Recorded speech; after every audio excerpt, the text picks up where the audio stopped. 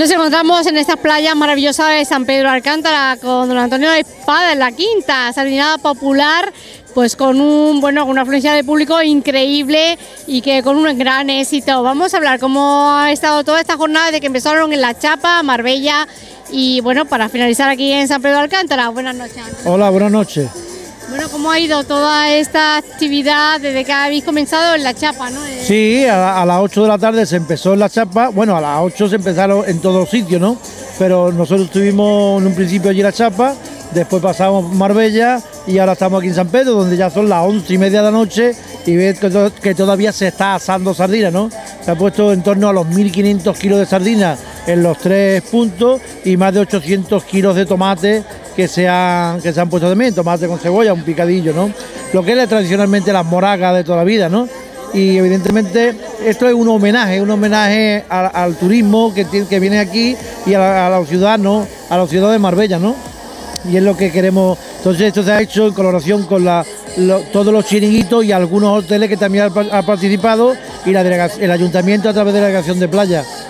Alcaldesa se acaba de ir por los pelos, no la tenemos. La alcaldesa- Pero bueno, que, como siempre participando. Sí, sí, ella empezó también, como lo he dicho, a las 8 de la tarde allí por la chapa y se acaba de ir ahora mismo a las 11 y cuarto de la noche, ¿no? Que hasta aquí, y que es donde hemos cerrado San Pedro, porque ahí hemos pasado por los tres sitios pendientes y mucha, muchísima afluencia de público en todo, en todo, en los tres sitios, ¿no? Por lo tanto, yo le tengo que dar también las gracias, evidentemente, a los chiniquitos que, que han colaborado todos y a los hoteles y muy especialmente también a los proveedores, a los proveedores de, esos chiringuitos que son los que han cedido parte de la bebida y parte de, la cerveza y los refrescos que se están dando, ¿no?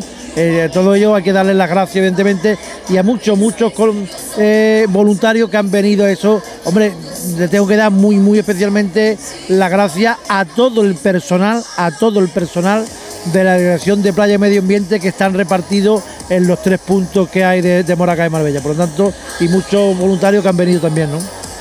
Ya casi empezamos una nueva etapa otoñal. eh, ¿Y cómo ha ido generalmente si hablamos de las playas? Que este año no hemos visto ni medusa, ¿no, Antonio? ¿Qué habéis hecho con ellas? este? No hemos visto, eh, no se ha visto Medusa, pero eh, yo evidentemente no me encuentro contento con cómo han estado las playas este año, porque hemos tenido mucho, mucho temporal de poniente y se ha llevado mucha arena, muchísima arena y ha habido piedra en sitios que naturalmente que nunca hay piedra, como es la zona de la chapa, pues también este año en algunos puntos han salido piedras. Pero tanto con la naturaleza no, no hay quien pueda, ¿no? Pero en definitiva hemos estado contentos, bien, porque ha habido muchísimo, muchísimo turismo, muchísima afluencia, que han venido muchos visitantes, ¿no? Por lo tanto, eso genera riqueza en la ciudad, que es lo que lo importante, la riqueza y la creación de puestos de trabajo, que definitivamente es lo que queremos, ¿no? Y lo que queremos es una estacionalidad en la playa, que no haya estacionalidad, sino que todo el año se pueda estar disfrutando de las playas. Y por eso estamos trabajando para que de una vez por todas se hagan los espigones que en Marbella no se tuvieron que quitar nunca, ¿no? Pero en fin, se quitaron y lo que estamos luchando para que se haga y haya una estabilidad de las playas durante todo el año. Muchas gracias por sus palabras, Antonio Espada. No, gracias a vosotros por venir para darle eh, publicidad a todo lo que se está haciendo, ¿no? Muchas gracias. Bueno, vamos a hablar con David también aquí en toda acción, que ya hasta tiene cara de sardina, David, es que... O todavía, to- todavía no va. ¿no? Sí, lo que han dicho, más de 1.200 kilos, una barbaridad así. Yo todavía no la he probado, tengo ganas de probarla, pero me pasa a mí que no nos va a dar ni tiempo. Tenemos un, pero la verdad que es bonito y agradable que todo el pueblo haya participado, que esté todo el mundo en la playa y que sea a la vez, tanto en Marbella como en La Chapa, como en San Pedro, que esté todo, todo el mundo animado en esta fiesta que ya se ha vuelto tradicional, que es la moraga popular de la despedida del verano, el Día del Turista, como algunas veces le hemos dominado colaborando con los chiringuitos, los hoteles, la delegación de medio ambiente, la delegación de obra y todo el mundo eh, unido por, por, por un bien, por comer sardinas y encima aprovechamos la ocasión para hacer la recaudación que están haciendo para Caritas. El año pasado fue para Spanden, recordamos, este año Y eh, para Caritas siempre se intenta repartir un poco para todas y cada una de las asociaciones que tan mal lo están pasando en estos momentos. Muchas gracias. Y bueno, mientras que dure la sardina, que vaya... Aquí vamos a estar mientras haya música, aunque no haya sardinas. Pues sí, la verdad que tengo el mejor maestro que Juan, que me ha enseñado perfectamente a cómo coger la sardina y no romperla y la verdad que estamos pasando una buena noche. Bueno, que ya me superaba. ¿Y cuántos platos habéis preparado ya, lo que llevamos de noche? No lo sé, eso. cientos, cientos, cientos, cientos.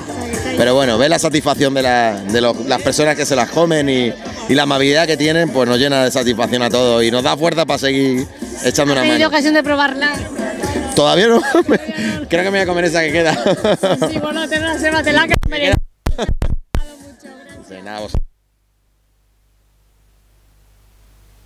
Y pruébalas. La gente en la playa no es muy cívica a la hora de, de, intentar cuidar el medio ambiente, del playero, que la playa, ten en cuenta, la playa es nuestro, nuestro mayor, digamos, nuestro, nuestro oro. Es decir, igual que Granada tiene su oro blanco, nosotros tenemos nuestro oro amarillo o gris, como lo quiera llamar, ¿no? En algunos sitios más amarillento, en otros más gris. Pero es nuestro oro y entonces hay que cuidarlo sí o sí. Yo entiendo que el extranjero, incluso si, si os fijáis, los extranjeros son más cívicos a la hora de ir a la playa que los mismos españoles y es nuestro, es nuestro territorio. Y encima lo- los que vivimos aquí todavía es peor. Pero yo creo que Marbella tiene un tiene mucho que decir todavía a la, a la hora del turismo, ¿eh? muchísimo, muchísimo, muchísimo. Y yo creo que la apuesta del año que viene va a ser bastante buena. Gracias, Carlos. Nada, a ustedes.